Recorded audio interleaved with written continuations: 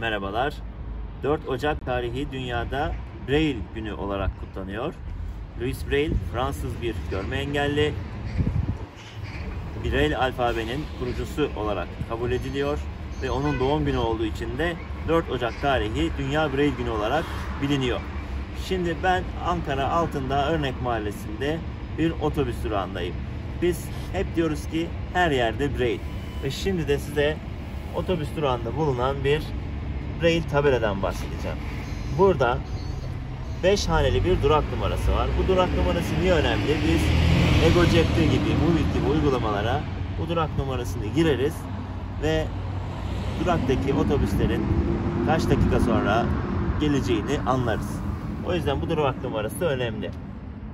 30053 numaralı duraktaymışız şu anda arkadaşlar ve buradan geçen hatlar 452 örnek Yeni Doğan Ulus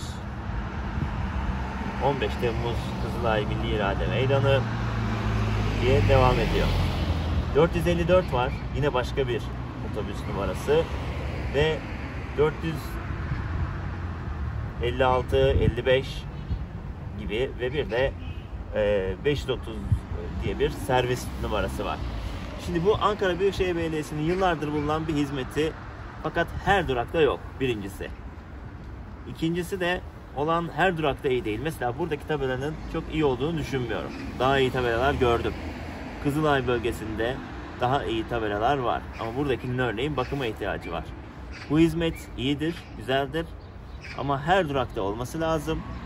Ve mevcut bulunanların da bakımının yapılması lazım.